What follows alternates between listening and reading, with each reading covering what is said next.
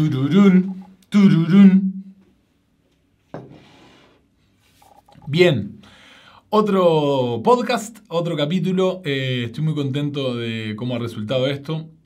Eh, estoy atento a lo que ustedes quieran, así que si quieren dejar en los comentarios alguna idea de lo que podemos hacer, eh, algún invitado que les gustaría ver, ideal. Vamos a comenzar el programa del día de hoy con un formato distinto porque la mesa de sonido generaba un hiss espantoso. Así que vamos a grabar el audio directo de la cámara y el gran Polilla va a ponerle todas las magias como esta. O como esta. O esta. Así que comencemos.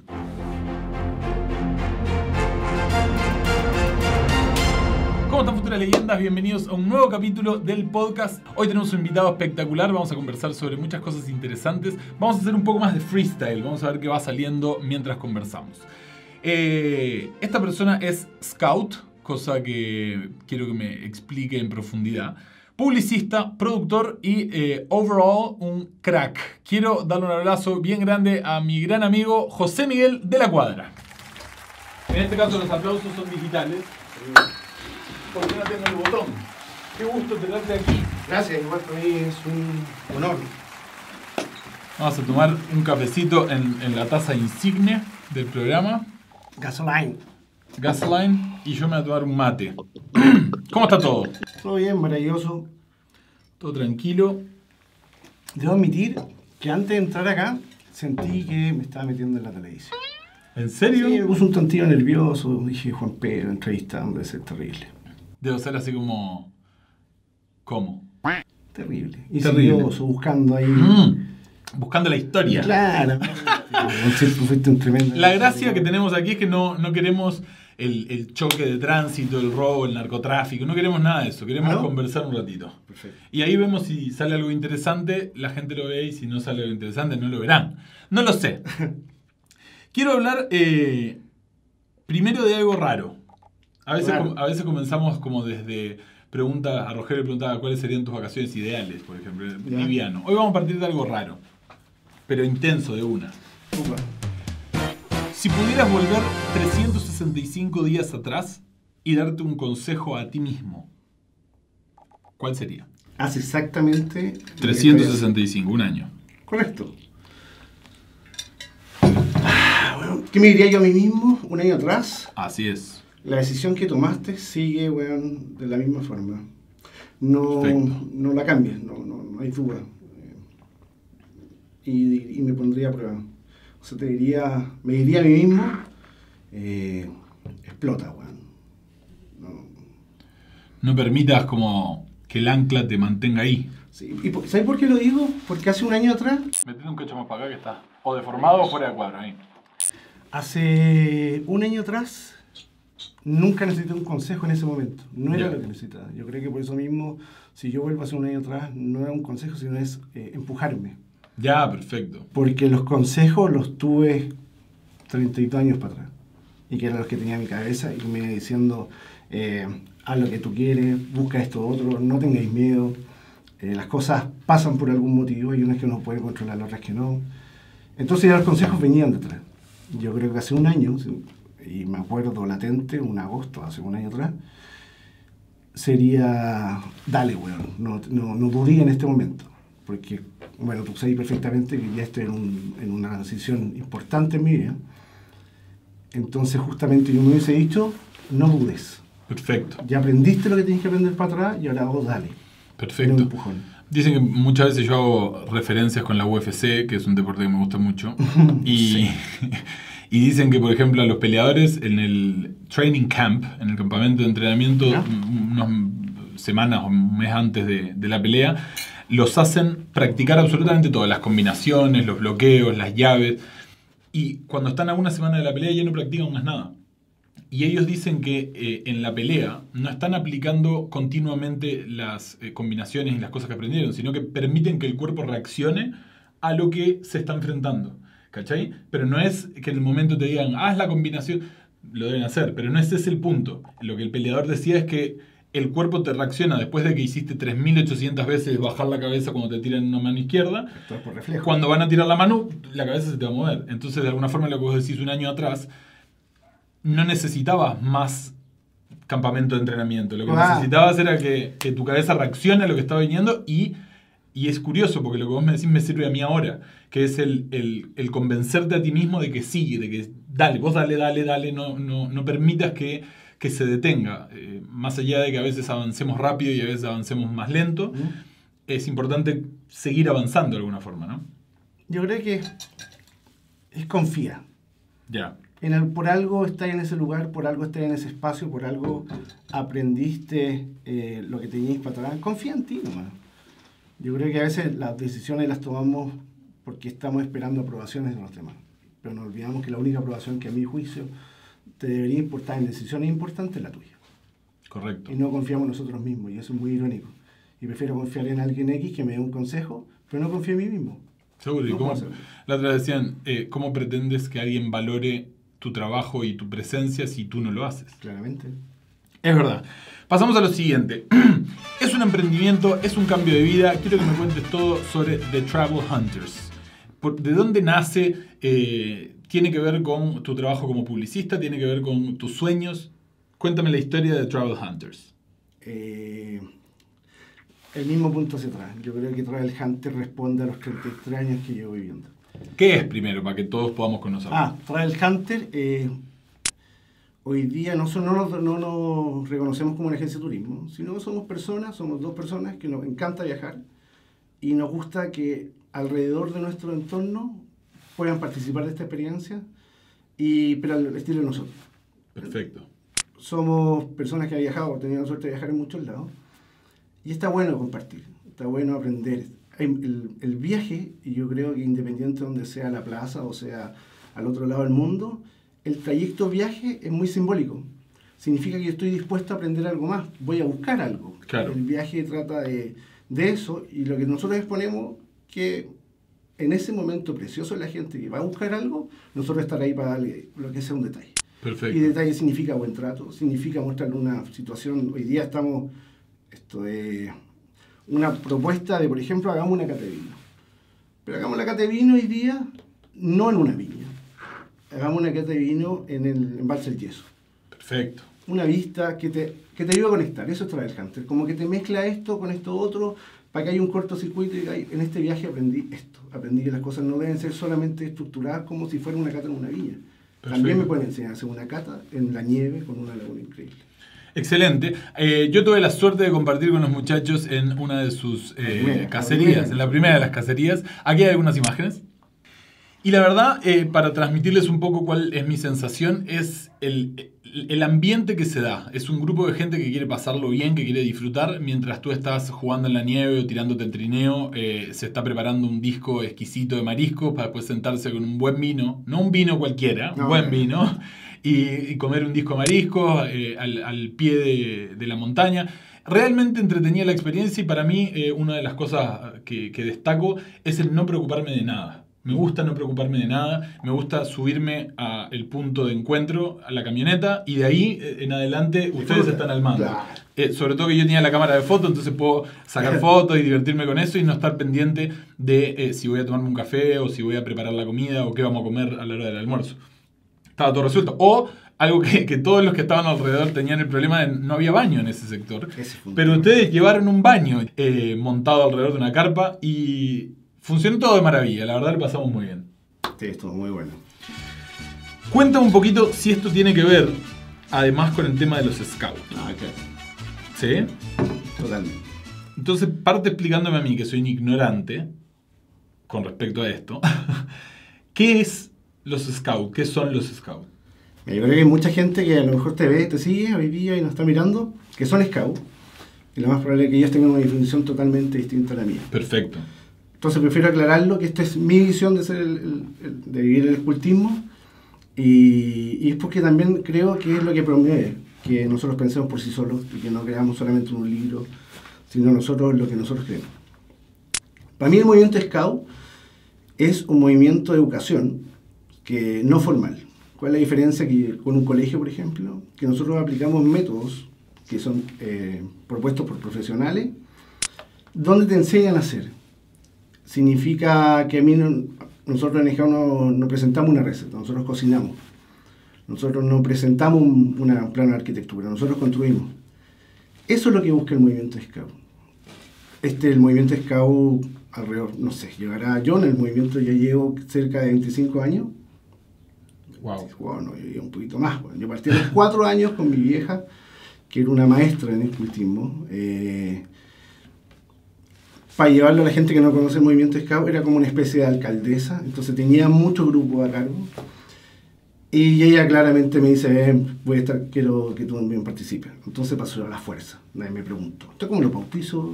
Claro. Me dijeron, anda, ¿cuál es la magia que me enganché? Me enganché y hoy día sigo trabajando, pero del otro lado como dirigente.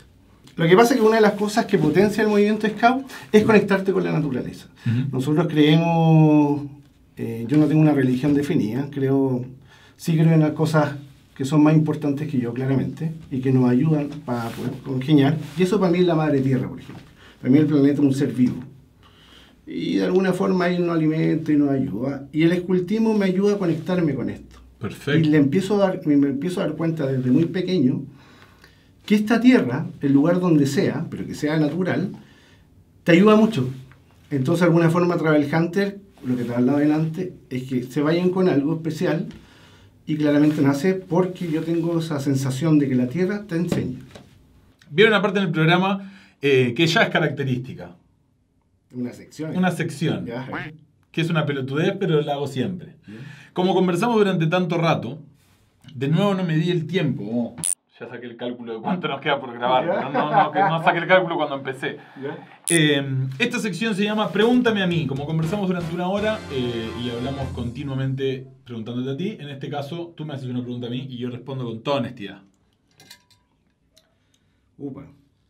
Hace un minuto atrás estábamos hablando de, de unos temas que eran como de cómo usamos nosotros nuestros beneficios, Ajá. nuestras virtudes, perdón. Claro. Eso te preguntaría. Hoy día, ¿cómo Juan Pedro ocupa sus virtudes, que son, me declaro un fan de esas virtudes, Muchas gracias. pero para el beneficio social, no al individual? Te voy a contar el secreto. Y me gusta porque al contarlo siento que queda aquí. Está, es muy bueno esto para mi gusto. El hecho de es como una ventanita donde nosotros conversamos con miles y miles y miles de personas y ellos responden en los comentarios Ah, y en el perfecto. programa siguiente conversamos sobre esos comentarios. Entonces me parece importante cuando uno plantea algo aquí que quede en el espacio eh, de internet. Me encanta. Me encanta. Y voy a responder tu pregunta de la siguiente manera.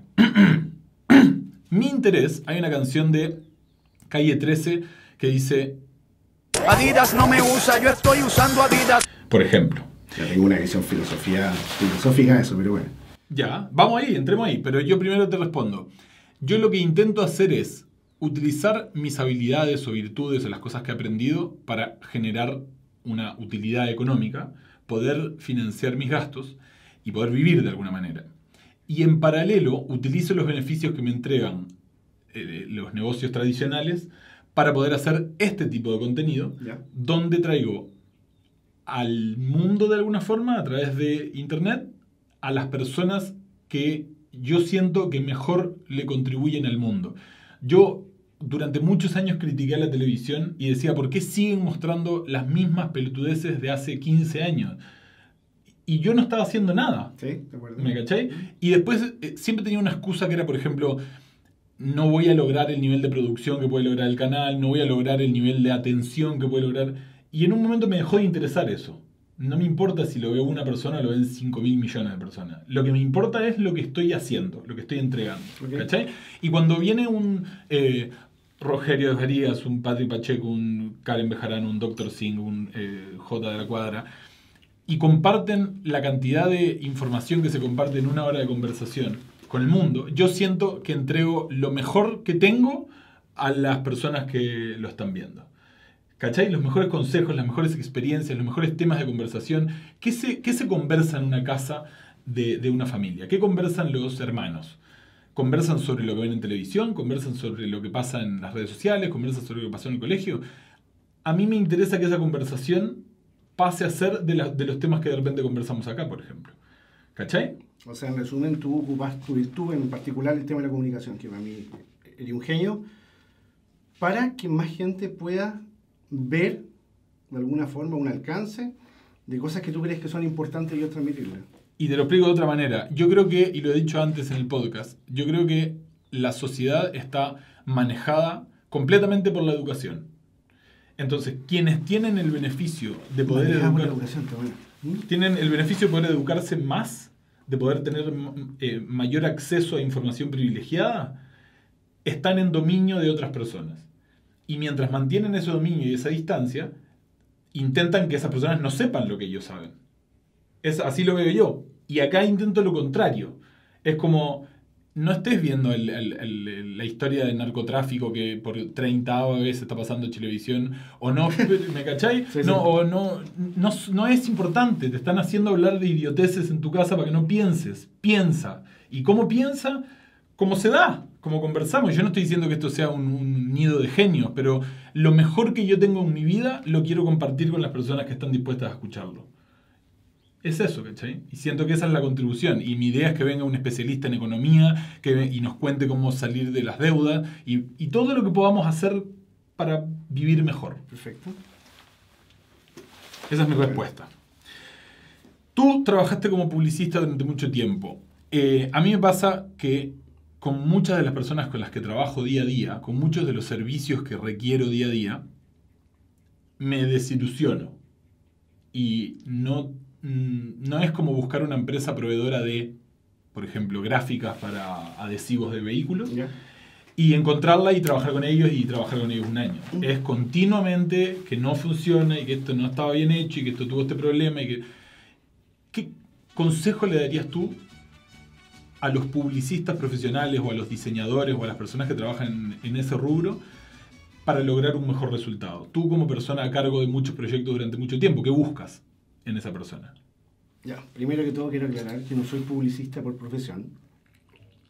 Eh, ¿A qué te referís? Que no... No, yo estudié cuatro años en la universidad, pero no me gradué, no estoy titulado. Entonces, por el respeto a las personas que sí tienen el título, yo me declaro solamente un publicista de oficio.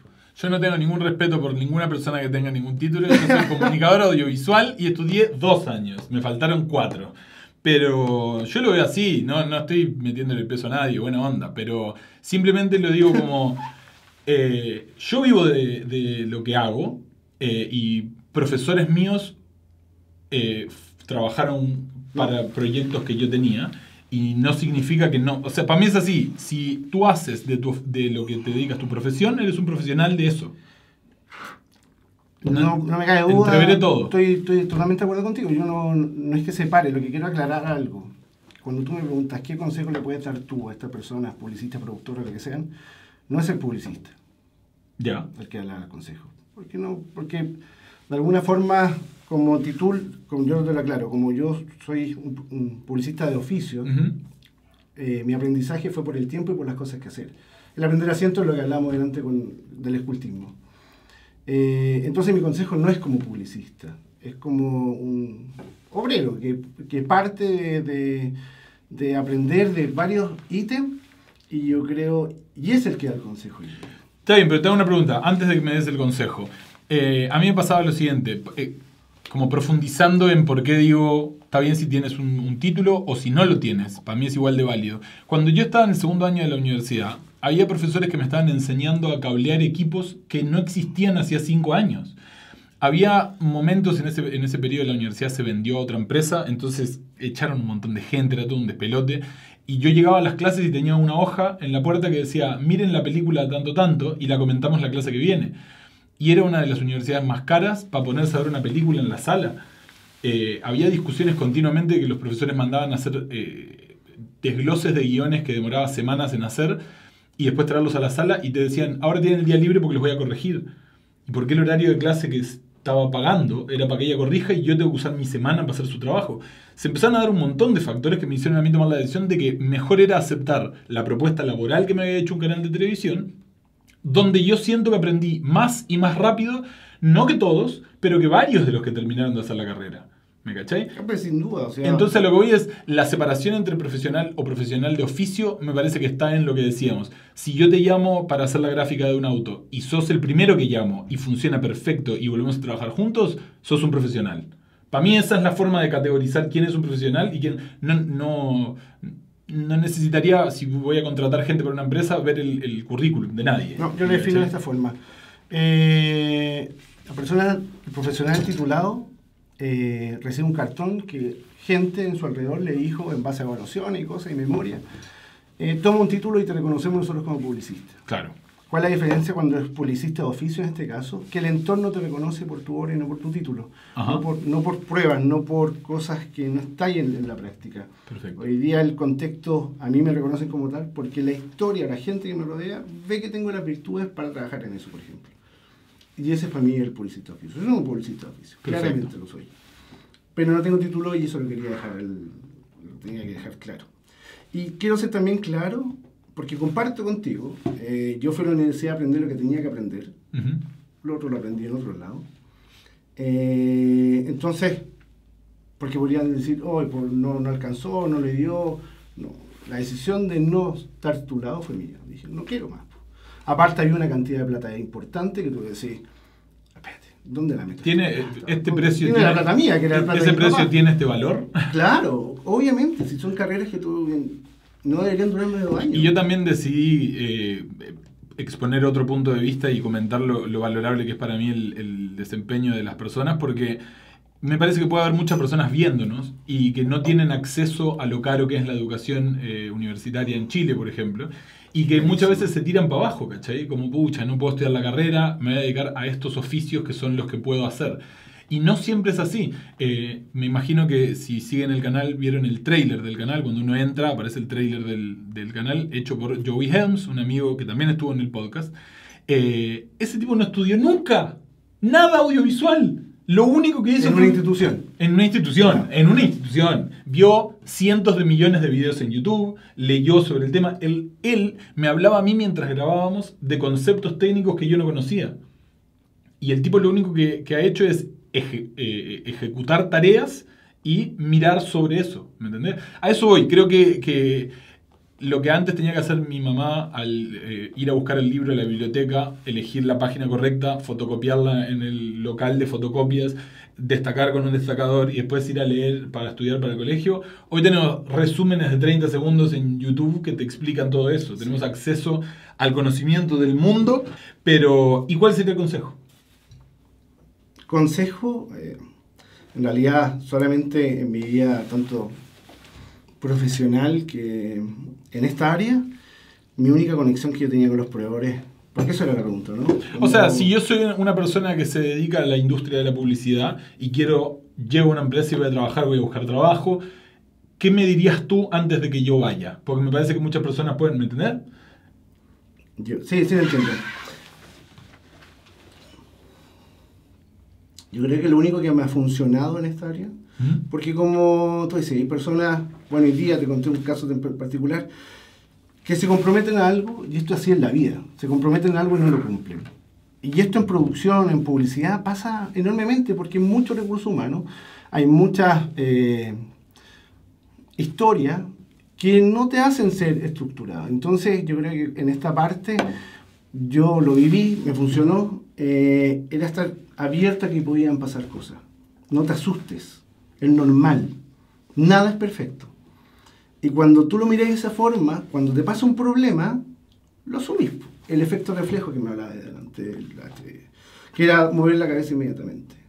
Si yo asumo que esto va a salir todo perfecto, y es un graso error en los productores sobre todo, que creen que esto es todo, debe ser todo perfecto, es muy probable que esa persona, cuando caiga un problema, no lo sepa enfrentar. Perfecto. Teniendo la respuesta ahí mismo, teniendo se apagó la luz de un evento. Fiesta, se apaga la luz. La persona como no sabe que pueda pasar eso, no se proyectó para que puedan pasar un problema, se va a asustar y lo más probable es que colapse y en vez de esto de ser solamente apagando la luz, es colapso de gente, eh, etc. Y a lo mejor el enchufe lo tenía al lado y él mismo lo dio vuelta con el brazo. Pero su cabeza estaba, no estaba preparada.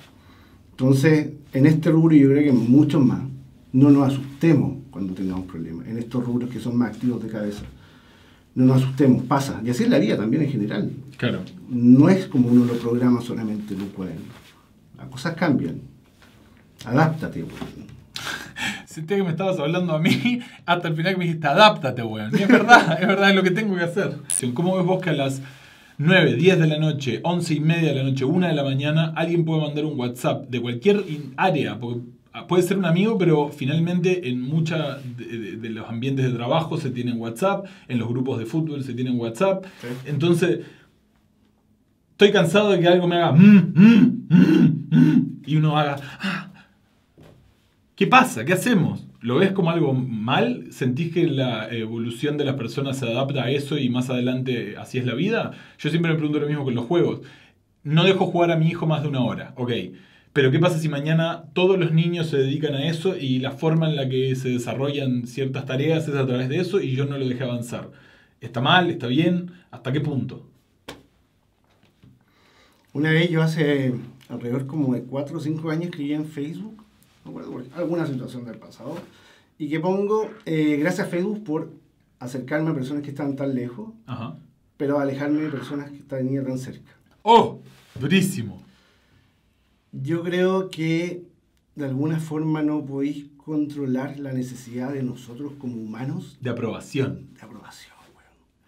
Cierto creo- que sí, no filter. Y mientras más, más gente puedo captar que me diga que algo estoy haciendo bien, puta, como humano la tengo que aprovechar.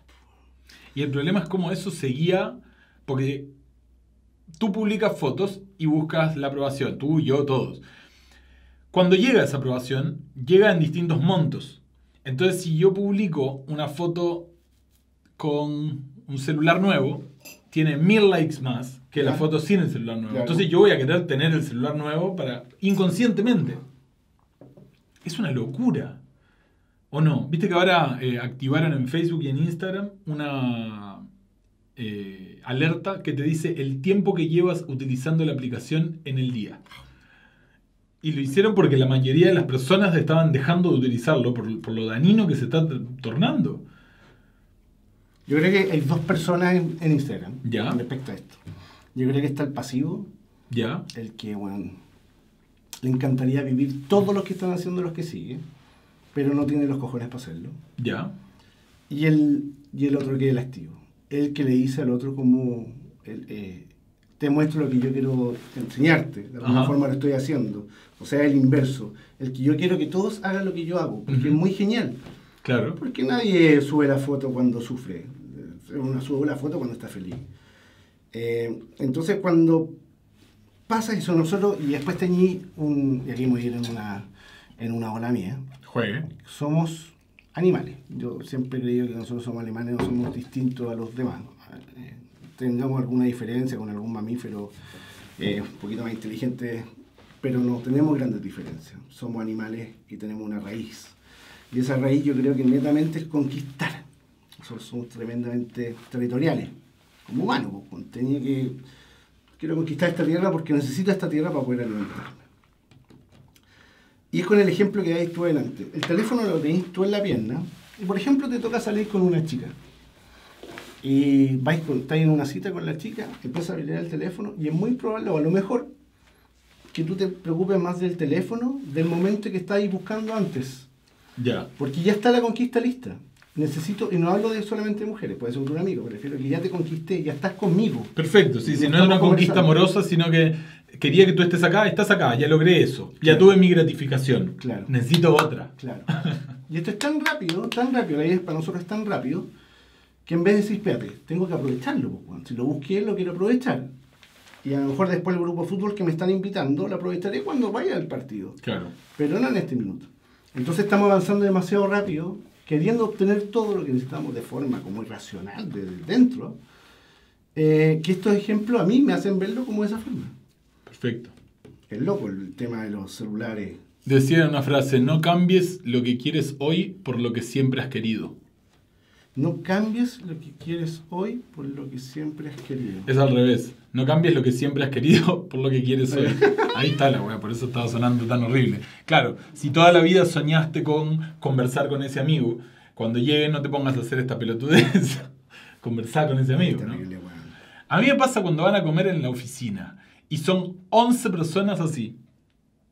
Porque cuando vas a comer con tu amigo, con tu pareja o con una persona que invitaste, por lo menos querías ir a comer con esa persona, pero cuando es persona de una oficina, Obligado. no tenés por. A mí no me. A nadie le importa si a vos te molesta que yo Uy, así, ¿cachai? uy, uy. Entonces, es todo, cabeza con cabeza para abajo así.